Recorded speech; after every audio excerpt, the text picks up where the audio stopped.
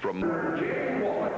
Welcome back to the L.C. Walker Arena. Second intermission here as the Muskegon Fury trail the Brantford Smoke in their home opener, 2 to 1. A scoreless second period. Shots on goal in that second period. 12 to 8 in favor of Brantford. Well, I tell you, the story of the game so far has been the goaltender. Eric Raymond playing his first game of the year tonight for the Muskegon Fury. He has made three, four, five saves point blank and has uh, blocked a couple of breakaways. Uh, in, by all rights, without Eric Raymond, the Brantford Smoke really ought to have a 3-4 goal lead. But Raymond has held his boys in the game, and it's 2 to 1. Brantford after two periods. Should have a good third period of play hopefully, if they get the uh, power play opportunities that they have in the first two periods, the Muskegon Fury will be able to take advantage in that third period.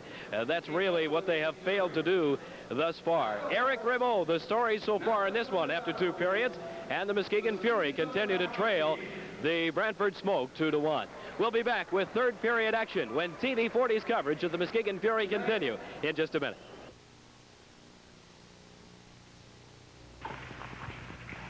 Except Muskegon Fury Hockey. All home and away games right here on TV 40, the TV home of the Fury.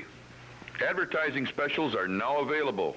So to reach our new expanded coverage area from Montague to Grand Haven, contact me, Ron Morris, at 733-4040.